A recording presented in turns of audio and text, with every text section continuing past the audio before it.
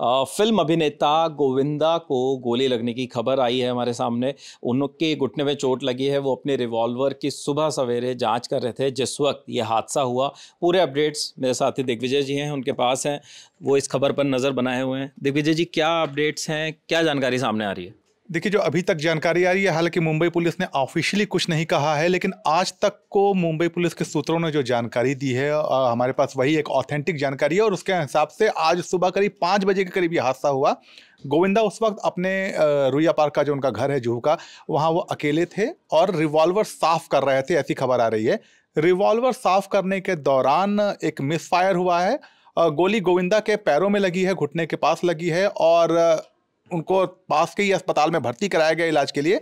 अभी जब हम आप बात कर रहे हैं, तब जो मेरे पास खबर है, हालाँकि अभी मैं अगेन कह रहा हूँ कि बहुत कंफर्म खबर नहीं है, लेकिन जो मेरे पास खबर है, उसके हिसाब से गोली निकाल दी गई है और फ़िलहाल उनकी हालत स्थिर बनी हुई है।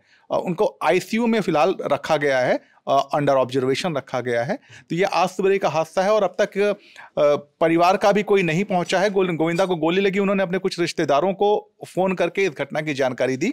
और उनको फिर अस्पताल ले जाया गया। अकेले थे घर में तो फ़िलहाल जो जानकारी आ रही है वो यही आ रही है कि लाइसेंसी रिवॉल्वर थी और गोविंदा रखते थे लाइसेंसी रिवॉल्वर अपने पास सुरक्षा के लिए। उसी को साफ़ करने के दौरान ये हादसा हुआ है। जी जिस वक्त ये हादसा हुआ आप बताना चाह रहे हैं कि उस वक्त वो घर पे अकेले थे? जी उस वक्त यानी कि आज सवेरे पाँच बजे के आसपास वो घर पे अकेले थे और उनके घर का कोई सदस्य नहीं था। और जो सूत्रों के हवाले से खबर आ रही है।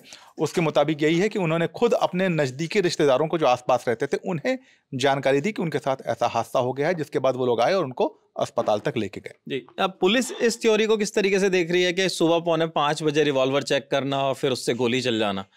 क्या कोई और एंगल भी उनको नज़र आ रहा है इसके देखिए विपिन जब बात निकलेगी तो दूर तक लग जाएगी। फ़िलहाल पुलिस ने कुछ ऑफिशियल स्टेटमेंट नहीं दिया है। जो पहली जानकारी उन्होंने आज तक के साथ साझा की वो यही की कि रिवॉल्वर साफ़ करते के समय के दौरान ये हादसा हुआ है।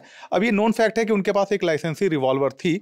मगर अब सवाल उठते हैं कि इतनी सुबह पाँच बजे उनको ऐसी क्या ज़रूरत आ पड़ी थी कि रिवॉल्वर वो साफ़ कर रहे थे? हम्म। या जब आप आज के से उनके पास रिवॉल्वर नहीं है काफ़ी समय से है तो आपको एक प्रोज एंड कॉन्स मालूम होते हैं उनको सेफ्टी कैसे करते हैं कैसे साफ़ करते हैं वो सब मालूम होता है तो ये गोली कैसे चली तमाम सवाल उठेंगे और उस पर पुलिस स्पष्ट रूप से बयान देगी।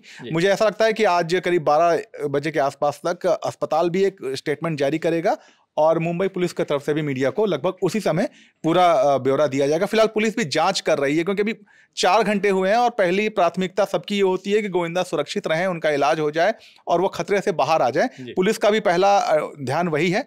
फिर जब वो बात करने की स्थिति में होंगे तो पुलिस उनसे बात करेगी और और जानकारी जो है उनको मिलेगी और फिर यकीनन मीडिया के साथ साझा किया जाएगा। ऐसी कोई जानकारी हॉस्पिटल की तरफ़ से या पुलिस की तरफ़ से अभी आई है कि सामने के अभी वो आ, कितने मेजर ये इंजरी है खतरे से बाहर है या नहीं? आ, जो जानकारी आ रही है उसके हिसाब से फ़िलहाल उनकी हालत स्थिर है गोली निकाल दी गई है और कोई बड़े खतरे की बात नहीं है। मगर फिर भी अस्पताल से अभी आधिकारिक मेडिकल बुलेटिन जारी नहीं किया गया है और गोविंदा के परिवार के लोग भी इस खबर को लिखे जाने तक मीडिया के संपर्क में नहीं आए थे तो उनके तरफ़ से भी कोई आधिकारिक जानकारी अभी तक बाहर नहीं आई है। जो भी खबर है वो मीडिया और सूत्रों के हवाले से ही सामने आ रही है। जी, बिल्कुल, मीडिया और सूत्रों के हवाले से तमाम अपडेट्स अभी तक हमारे सामने आए हैं। पिछले काफ़ी समय से गोविंदा को लेकर अगर कहा जाए तो फ़िल्म इंडस्ट्री में ऐसी कोई बड़ी फ़िल्म नज़र नहीं आती जो बहुत हिट रही हो या बहुत लंबे समय से वो सुर्खियों में बने रहे हों। लेकिन फ़िलहाल जो खबर सुबह हमें मिली है, वो ये कि गोविंदा के पैर में गोली लगी है अपनी खुद की लाइसेंसी रिवॉल्वर से। उसकी वो जाँच करते हुए उसे चेक कर रहे थे, उसी वक्त ये गोली चली है।